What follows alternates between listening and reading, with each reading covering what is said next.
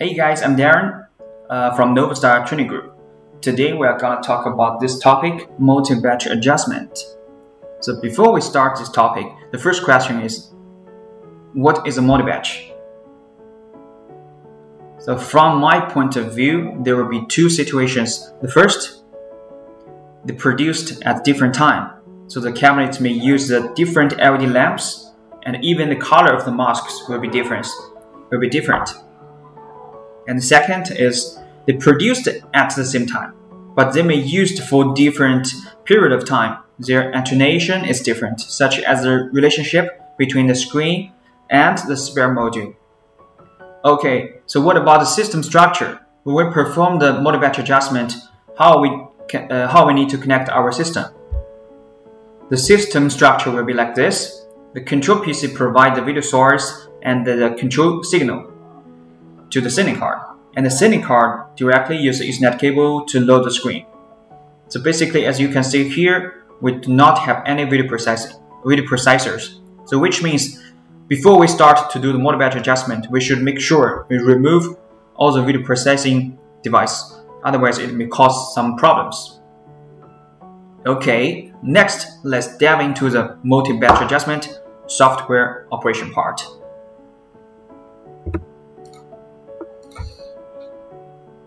Okay, now you can see this is the main interface of NovaLCT. Because uh, currently I'm I'm not having a multi-batch screen to show you the effect, so I will use the demonstration mode to show you the software operation. So in the main interface, we need to log in first. The password is admin. Okay. Then we click Tools and select the multi-batch adjustment in the drop-down list. And as you can see in this interface, we got two options, the manual adjustment and apply adjustment file. Because uh, at the first time, we need to select the manual adjustment. Once we finish the adjustment, we can have this kind of file. And for the colorimeter, normally when we onset, we do not have the color colorimeter, so we can keep it as default, no colorimeter. Then we go next. And in this interface, it's for add sample batch. Because we should let the software know which part of the screen is batch 1 and which part of the screen is batch 2. So you can see here, we can select the sample batches 1, click the right, uh, click the green cross on the right side. In the demonstration mode, we have eight, uh, we have eight cabinets. So we can assume like the first row is a batch 1 and the second row is batch 2.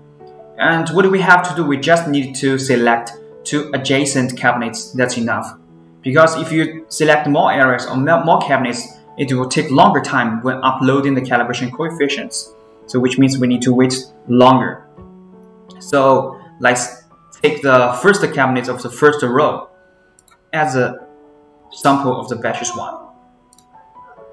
And we switch to the batches two, click the green cross and click the first cabinet of the second row as a sample of the batches 2.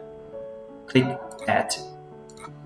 As you can imagine, if we want to find a common uh, common value to, to, to adjust these both cabinets, it will be much more difficult for us.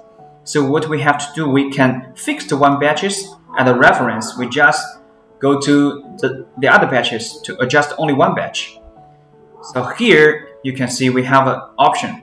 So we select the batch 1, fix batch 1, and adjust the other batches to this batch. And then we can see here we fix the batches 1. Now we just uh, do the adjustment for the batch 2. Then we go next.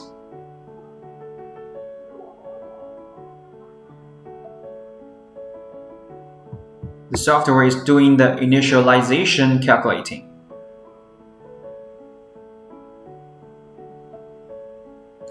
Okay, now as you can see in this interface, on the laptop of your uh, laptop or your PC, there is a virtual window which is display the current batch. So we need to select two batches and display on the virtual window. At the same time, it will display on your real screen. And you can see here, this interface is all gray, which means it's not available for us to do the adjustment. That is because batch 1 is the reference. So we need we no need to do the adjustment or modify. So we just modify the batch 2. And for the colors, you can see here we have seven colors, uh, seven color op options. The right, green, blue, uh, cyan, yellow, magenta, and white.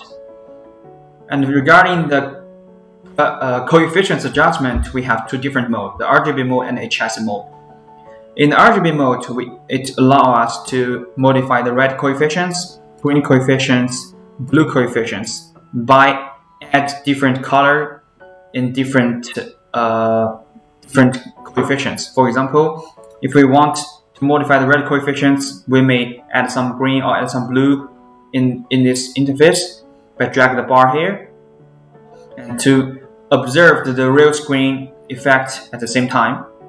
And if we switch to the HISI mode, it's the same. We have the right table, green tabs, uh, blue tabs. But if you set the parameters, it's the brightness, saturation, hue. So basically, there is no better version or worse version. Both adjustment mode can realize to uh, do the multi-batch adjustment just from the different perspectives. And sometimes after we finish the multi-batch adjustment, we will find uh, the single color we are satisfied. But if we switch to the white color, it seems to still uh, still difference. So what do we have to do? We can balance it by click the balance button at, he at here. Okay, the software will let us to do the balance adjustment again. Uh, the same principles, you can choose RGB mode or the HISM mode. After the adjustment, you can go next. And in this interface, it allows us to modify the red brightness, green brightness, and white brightness by observe the white color and then we go next. The software will automatically do the balancing, balanced matching. So basically what we have to do is follow the steps of the software. So here I just show you the steps how we do the multi-batch adjustment. And what you have to do is follow my steps or follow the software steps. Then we go next. And after the adjustment, there will be this interface name is view balanced results. So which means this interface is for us to confirm the, the effect after the uh, multi-batch adjustment. We can switch between the right, green, blue, cyan, yellow, magenta, or white, or we can let the customer to see the screen effect whether they are satisfied or we, uh, they are, uh, whether it's acceptable. If they confirm, okay, the screen effect is okay, then we can finish the multi-batch adjustment. Then we can go next. Basically, when we uh, when we get into this interface, we've already finished finished the multi-batch adjustment.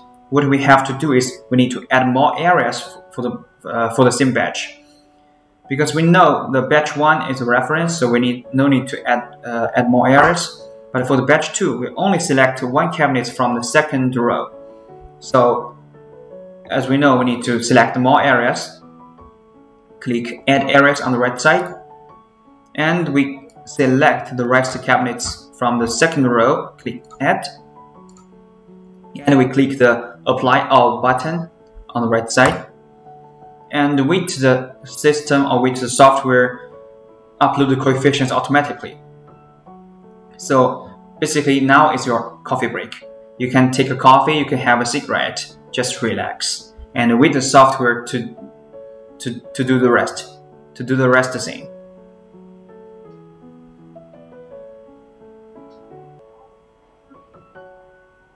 Okay, now the uploading is finished. So what we have to do next is save it. So as we know, the calibration coefficient is saved in the receiving card. But if your module have a small chips on it, which we call it module flash, then we need to click the save to flash. So which means the calibration with calibration coefficients were saved in the receiving card and in the module flash at, at the same time. But this time we are not doing the menu adjustment again. We just need to select apply adjustment file. Then we can see here we need to uh, browse it from the file path. So we choose browse and select from the desktop, click open, then click next. Then you will find, okay, this is a familiar software interface.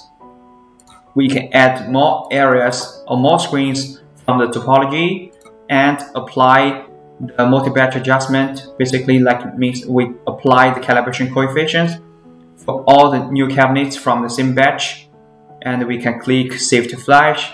We can click complete. Okay thank you. I think that's all for the multi-batch adjustment and that's all for today's content. Let's see you next time. Bye bye